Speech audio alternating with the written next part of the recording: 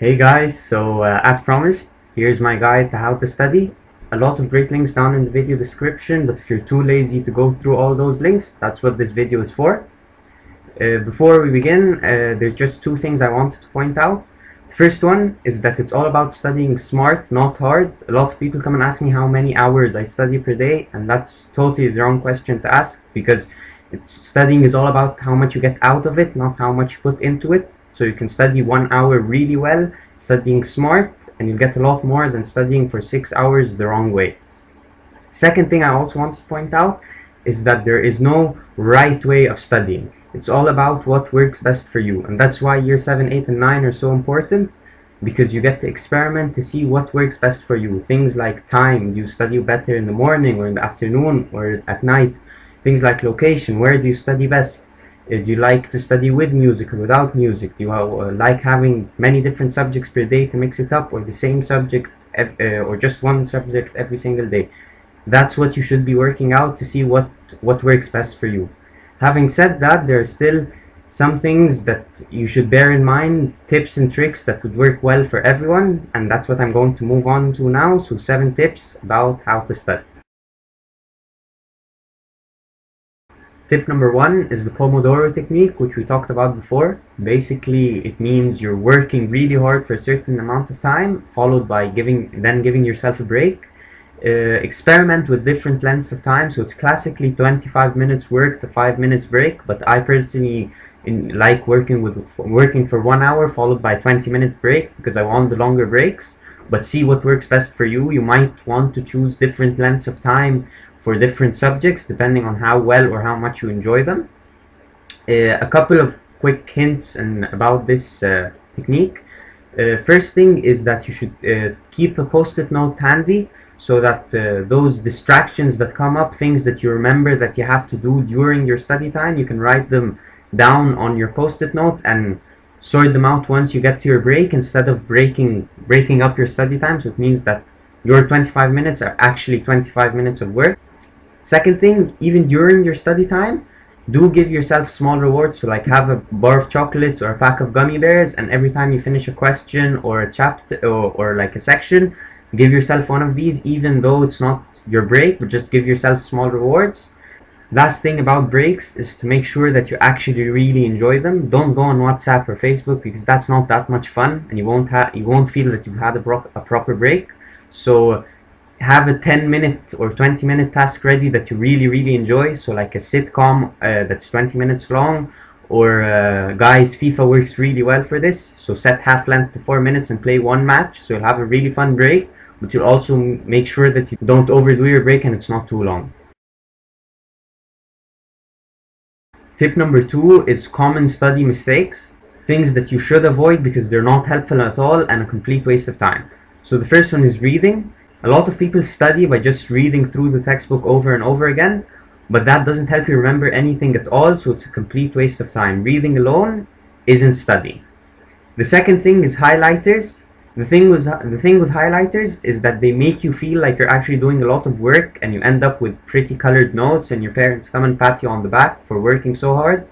But actually you haven't remembered anything because the only part of you that's been working is your hand, but your brain hasn't actually been storing that stuff into your memory. So don't highlight. Use active recall, which is the next tip. So tip number three is active recall.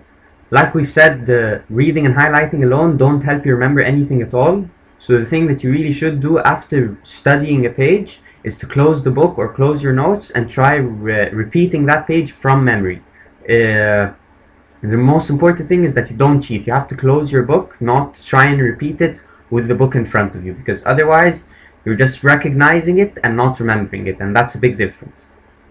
Uh, when repeating it, uh, try writing it down or saying it out loud instead of just repeating it in your head. The more senses you use while studying, the more likely you are to remember that. If it's more of a concept or something a bit more complicated, instead of a list of facts or numbers, try explaining it to someone else. Or if no one, if, if no one's there, just explain it to your wall. However insane that sounds, because if you can explain something, it's very likely that you're going to remember it, and it also means that you understand it really well. The other thing is that you really should test yourself a lot use the practice questions in your textbook. Go ask your teachers for practice questions because it's really important that you do a lot of practice, especially as you get into year 9 and 10. Tip number four is to make good notes. So the most important thing here is that these are notes and not rewrites. So you shouldn't be copying out every single word in the textbook. You should actually be summarizing it and putting it into your own words. Try making it as concise and clear as possible. So make your notes neat, keep them clutter free.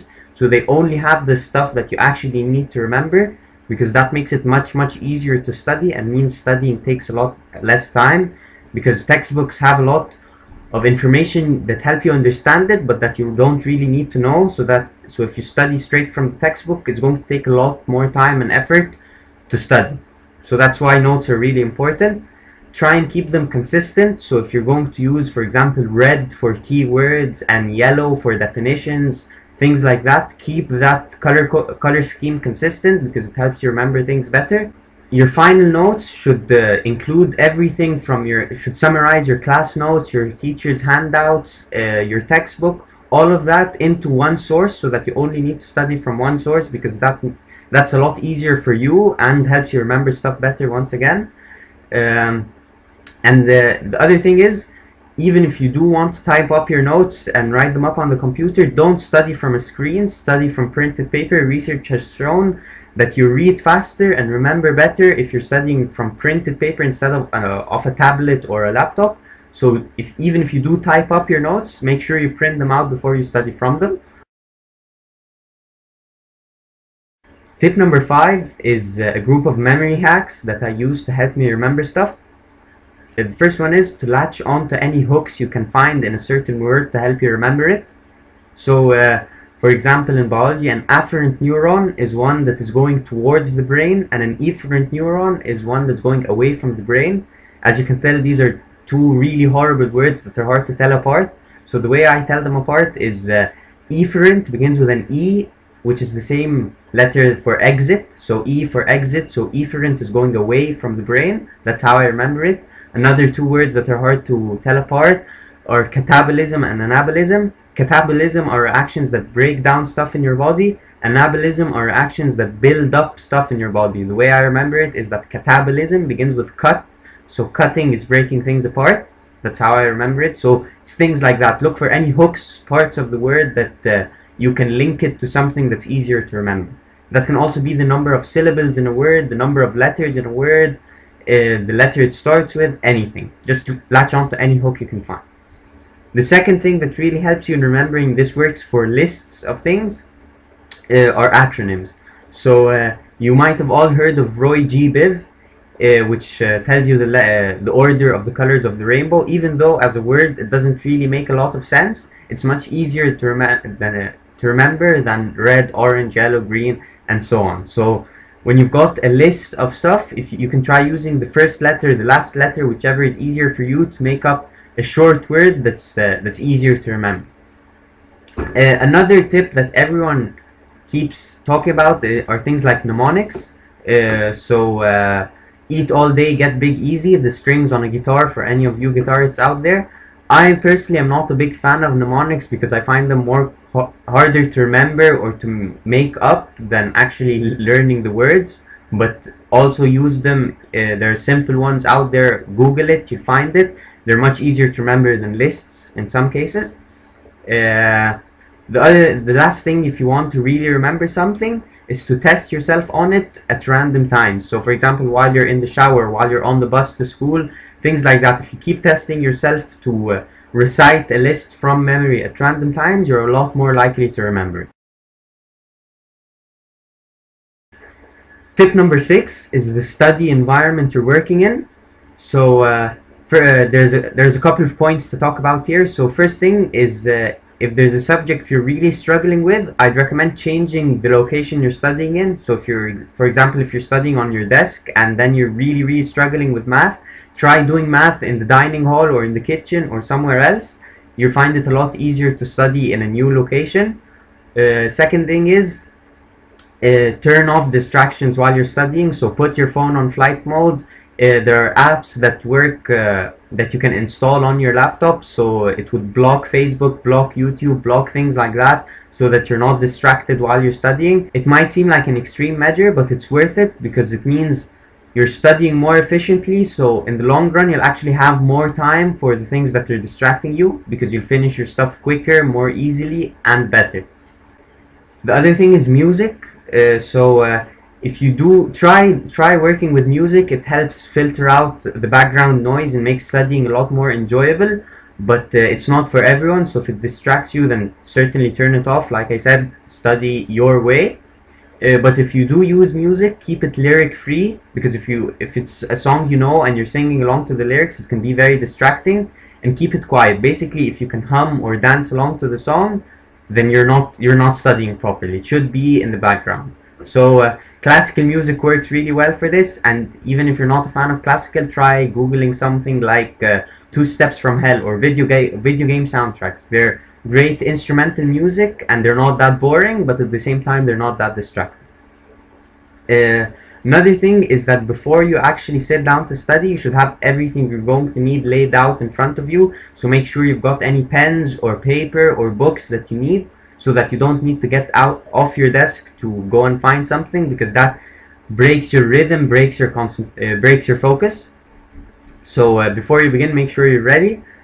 Uh, last thing I want to talk about before I end this video is exam night and the night before the exam and the day of the exam. On the night before the exam, try keeping your studying to a minimum. So don't try studying anything new just uh, go through uh, your summaries, your flashcards. If there's a certain list that you always find hard to remember, go through that. Focus on the stuff that you know you're bad at you, uh, and you just want a quick refresh of, but don't do any, don't do a lot of studying on the night before. Just relax, maybe watch a movie or a show to make sure you're cal calm before the exam on the day of the exam don't do any studying at all uh, that last five uh, that last five minutes before you go into that exam room are not that useful for revision. They're not quality time for revision. That uh, time when everyone's asking questions and everyone's really nervous, just get away from that. Just calm down, talk about something that's not to do with the subject. Don't try doing any any revision right before you go into the exam because it just makes you a lot more nervous. And uh, the last thing about exam day, listen to good music before you go into that exam hall, something that motivates you. I've got uh, a list down in the description again below uh, listen to something that motivates you, that uh, makes you happy and excited, because it really takes away all your nerves.